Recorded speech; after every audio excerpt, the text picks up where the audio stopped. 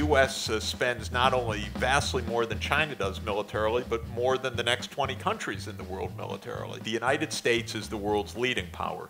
China is narrowing the gap consistently. What we've done is we've trained two generations, 40, 50 years of economists yeah. with theories that patently don't work. And then we're surprised that the models they build blow up on us. There is a transnational elite that is not held accountable for the ways in which they have carried on financial dealings. love. I want to feel the love. I'd like to um, put 700 million euro on, on that horse there, Anglo Lad. Bring the economists to Kilkenny, bring the stand-ups to Kilkenny and ask the stand-ups to go for the gags when they're there, but their job is really clarity, facilitating, communicating. The, the 750 million uh, loan that you just Anglo-Irish just paid over, notice the words unsecured. That means if it's unsecured and we can't pay it, fuck you. Corrupt government with a saving rate of 40% sounds a lot better than a corrupt government with a saving rate of zero, which is the US. Rescue packages are nothing more than transferring the debts of private professional investors on to innocent taxpayers.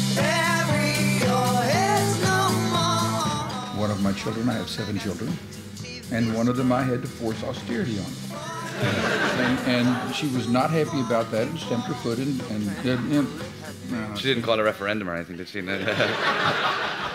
she did, and I voted, and she got she lost. Recapitalization. Over to you, Peter. It's what Cork people are banging on about for years. Look at the red hot favourite there, Anglo Lad with its golden shoes. That's straight out there. 120% definitely going to win that horse. Who, who would bet against it? Fraud is so much a part of the American economy right now. You have to take economics out of the conference room and out of academia and make it accessible to ordinary people's lives.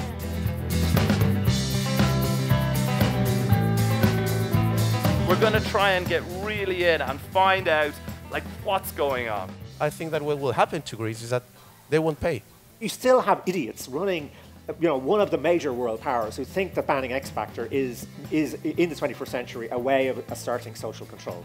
You know, so, so they have very little understanding very often of the way in which large parts of the modern world are working. Anglo lad is down there. He's down. He's oh. not out. It's desperate, desperate poverty still. I mean, there's still 700 million Chinese living in most desperate poverty. He's, he's trying to get up. No, he's been shot in the head. No, but he's still trying to get up. The horse lost, and I only spent 350 million euro on this. Doesn't matter that it's a pot of glue there on the racetrack. We're going to give you 700 million because that's the kind of people we are. Complete fucking idiots. That's what we are. This is important, ladies and gentlemen.